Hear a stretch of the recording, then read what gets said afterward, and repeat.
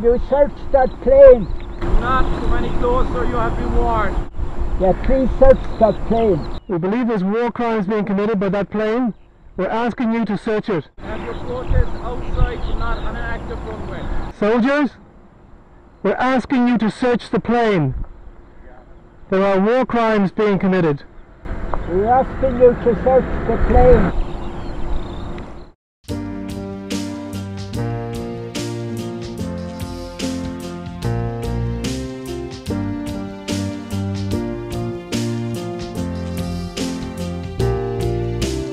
This is a very, very good day for the cause of getting rid of the US military out of Shannon Airport. This was never a case about justice, it was about punishment. Punishment for challenging the evil that is happening at Shannon Airport on a daily basis. In this trial, for the first time, we were finally given an opportunity to challenge the evidence against us in open court.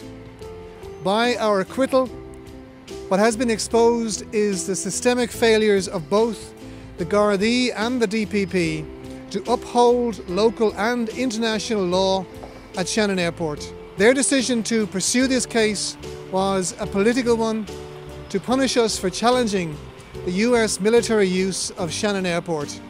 I feel passionately about the fact that we are in a country that has a proud history of standing up for human rights around the world. The victims in all these wars, large amount of the populations of Asia, Africa, Latin America, and a lot of marginalised people in our own country and in Europe and in America. Since my younger days, the country has changed so much. Like money is everything, and the perception that it's of advantage to be friends with the United States administration, regardless of what kind of animal is in charge of the country. Seems to still persist. Thank you. Relief, yeah. Well, I feel very relieved after the whole process. Starting off in the district court in Ennis and winding our way through that system and up to the circuit court in Ennis and then transferred to the circuit criminal court here in Dublin. It's really daunting, and particularly for people like myself and Colm who haven't that much experience in courts. Um, made me very, very nervous anyway. I was very, very relieved because we were given the freedom to raise the issues that we wanted to raise, not alone about the administration of justice at Shannon Airport, but also about the wider issues involving the US military's use of Shannon Airport. It was those two areas really that we wanted to focus on the last two weeks, and I think we were fairly successful in doing that. And it's a real reflection on the jury system here that the 12 members of the jury who represent the public and in a sense they represent the sense of right and wrong. They were the ones who, who were the judges in the case really who made the decision. And they decided quite clearly that we were not guilty of the offence that the prosecution had taken against us. So it was a vindication really of our stance it was a vindication of the perspective that we have taken on Shannon Airport that it shouldn't be used by the US military. It's very dangerous for a start. It sets up Shannon Airport and the region as a legitimate military target for the opposing belligerents that the US military is involved in in various parts of the world. So any one of those belligerents could legitimately look at Shannon Airport, could see the US military presence, and regard it as a legitimate military target. So it's incredibly reckless and irresponsible for the Irish government to allow such a dangerous situation to emerge. And that has been the situation in Shannon Airport since the start of its use by the US military. It's our fervent wish and desire that the airport in Shannon be returned to exclusively peaceful civilian use. And I hope that will happen at some stage in the not too distant future.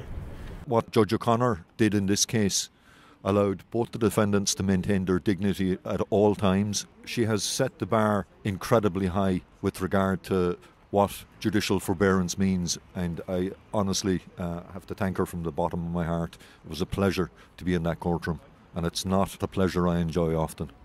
We went into that courtroom, and these two defendants showed they know the law inside out and they do a lot more than mean well. They understand where they're coming from, where they're going to, and they can defend their corner, and they have done so incredibly. I can't tell you how happy I am. There was never a doubt in my mind where this was going. There's no surprise here. but it's still nice to have this in the rearview mirror. Four and a half years is a long time. I'd like to add my personal thanks to everybody here.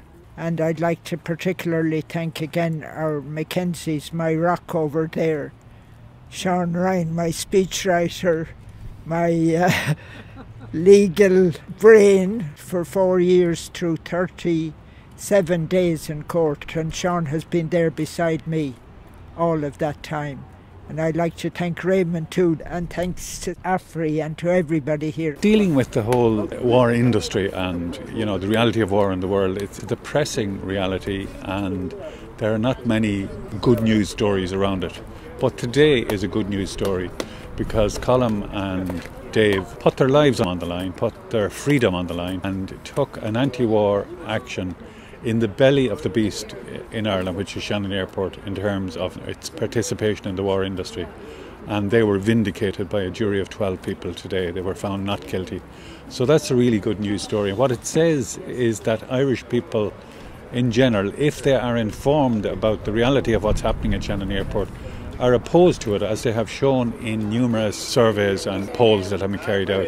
What needs to happen now is that the government needs to take seriously the results of this verdict and the need to come in line with the wishes of the Irish people and discontinue Shannon as a war port which visits death and destruction on innocent people all over the world. In Shannon Airport, the value of life is being desecrated on a daily basis.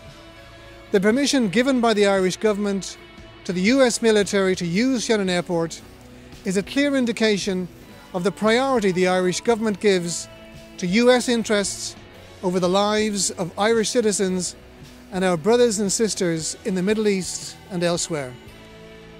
Our faith witness at Shannon Airport was an attempt to re establish the value of human life above all other considerations. The US military has been responsible for the death and injury of millions of people all over the world there should be no place at any Irish airport for such a death dealing machine. It is our fervent wish that Shannon Airport be returned as an exclusively civilian airport. Thank you very much.